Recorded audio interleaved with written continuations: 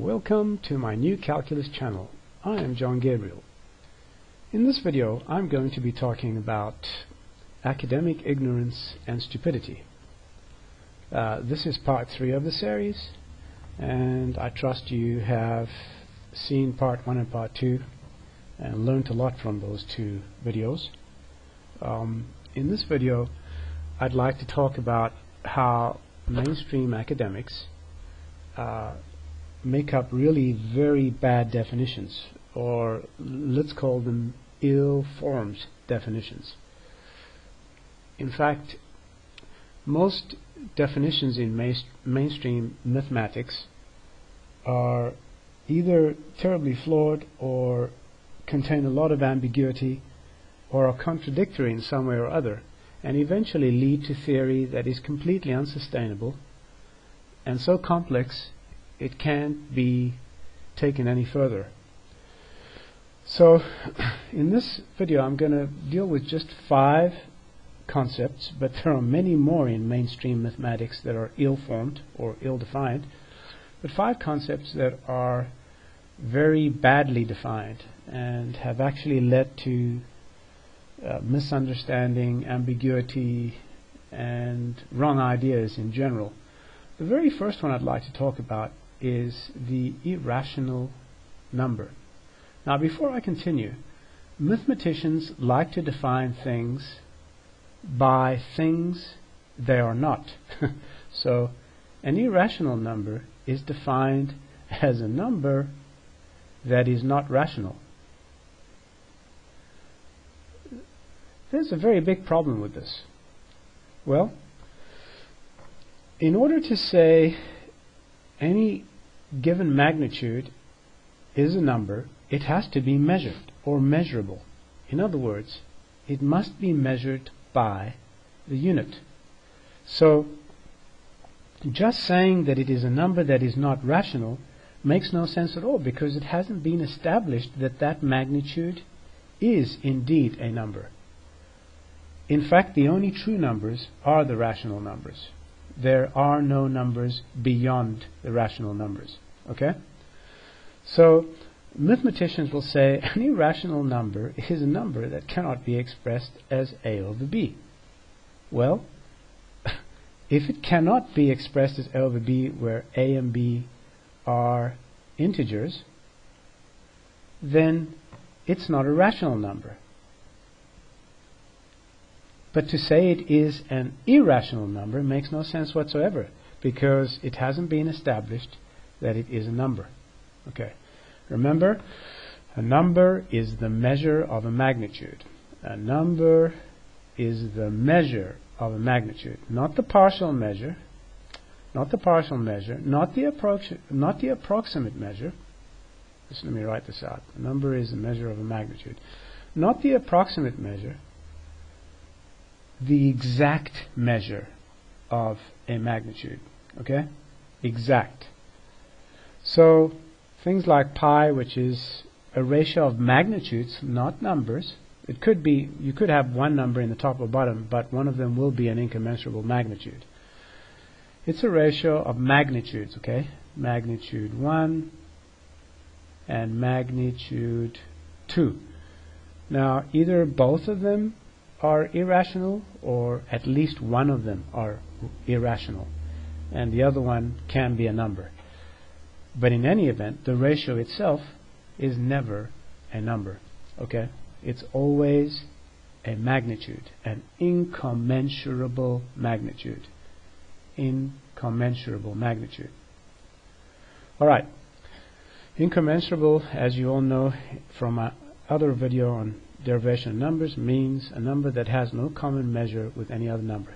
So this is the first bad concept in mathematics that an irrational number is defined as something it's not. Okay, so that doesn't really fly in according to my logic, and I think I'm more intelligent than most people. So let's look at the next concept, which is equally bad. The derivative defined in terms of limits. Okay, the derivative defined in terms of limit.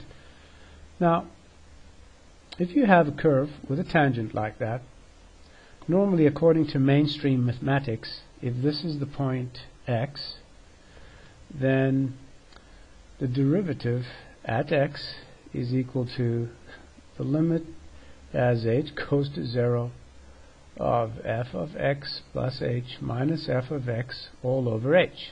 Yes? Okay. These here are all finite differences. That means if you have secants like this, and, and you constantly take the finite difference as these secants become closer to the tangent, closer to this tangent here, then this finite difference gets closer to the slope of the tangent. In other words, in other words, what this definition here is saying, the derivative is defined by all the finite differences that contain the point x, except the most important one, the one at x. Really, what we want to know is what is the slope of the tangent line at x, right? So this this here, this Cauchy definition, uh, French mathematician, was actually intended to fix the problems of Newton and Leibniz, but it made matters a lot worse. In fact, introducing limits was a big problem, and it hasn't solved the problem of rigor, which I've solved with my new calculus. Okay, in the new calculus, there are no limits. There is no use of infinity or infinitesimals. So this is a bad definition because it says the derivative here of the tangent line depends on the finite differences in this interval. In this interval, okay? Very bad definition. It's defined by everything that it's not. What it is is over here, not here, or here, or here, or here. Okay, so those are two examples. Let's take a look at another one now. Another three, and then we'll wrap up. Okay, the third one is the Lebesgue outer measure.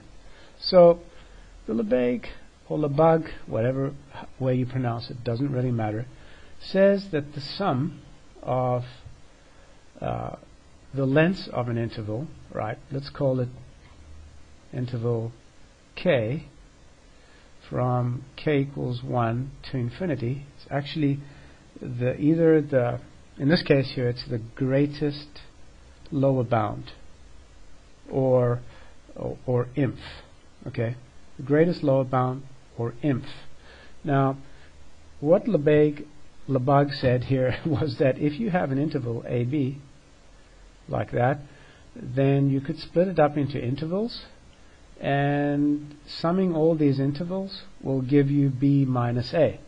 And of course, uh, if you go to infinity, that means you have infinitely many divisions or what mathematicians think of as points. So, in essence, what this pathetic definition, definition here is saying is that if you sum up all the points in this interval, you'll have uh, you'll have the, the length of the measure of this the set. But of course, you cannot sum points because points have no size, no dimension, or extent. But this is the rut that began with George Cantor. Okay, George Cantor, was a delusional fool who was the father of set theory and also the father of all mathematical cracks. Um, so what you see here is theory that was actually built on the rotten ideas, the delusional ideas of George Cantor. Um, Henri Lebug or Lebesgue, whatever, uh, came up with this definition for outer measure, which is as you can see, a complete load of hogwash. And this tries to define an interval in terms of points. But really, uh, as I mentioned in another video of mine, if you have two points, the length is just the shortest distance between these two points. There are many other aspects of length, but in this particular case, we're, we're looking at distance, and so we're only concerned with the length of a straight line, not area or volume or hypervolume or anything else. Uh, incidentally, Henri Lebesgue's uh, discoveries serve no purpose in mathematics and are not required in any mathematics whatsoever. In other words, a complete load of junk. So, let's go on to the next concept, which is an infinite sum. Right. Now, an infinite sum is defined as the limit of a sequence. So, which fool was responsible for this definition? I'll give you a clue. Euler Wagba, Euler Wagba, Euler, okay? Euler, the Swiss mathematician Euler. He was the fool behind this definition. So, for example, he defined this sum to be this infinite sum to be the limit which is a third. Okay, the limit is the least upper bound. In modern terms, you'll see that being referred to as sup. Okay, but they're the same thing. Sup stands for supremum, and inf stands for infimum. Okay, now Euler defined this sum here to be equal to the limit of the sum. Well, if you think about that very carefully, it's a very bad definition because this this uh, particular sum here can never be determined. And if you treat it as you would uh, an example in Lebesgue's outer measure or Lebesgue's outer measure, you'll see that it's complete nonsense because such a sum cannot be evaluated as points. Okay? Or even as intervals, because you would have to look at uh, a term here uh, required to be zero in order to arrive at a third, given that a third is not measurable in base 10. In other words, you cannot express a third in base 10, and I've explained this in another video of mine uh, in, in great detail, so I won't do it here. So defining this definition is a very bad definition and obviously it shouldn't have been done. It has led to a lot of problems like the one I've just explained, and also the fallacy that that is equal to 1. That's not true if this is considered to be a number, okay? This here is not a number. If it's considered to be a sequence, then this is true. But if it's considered to be a number, it's not true. One has to first establish that anything with an ellipsis behind it is a number but nothing with an ellipsis behind it is a number. All right, so there's one more left. Uh, George Cantor's infinite set. So let's just go back here again. Now, mathematicians simply swallowed this hook, line, and sin- hook, line, and sinker, as they say. Um, George Cantor defined an infinite set to be a set that is not finite. Again, defining a set by something that it's not. Well, by the very original de definition of set, it has to be finite because a set is a collection of objects.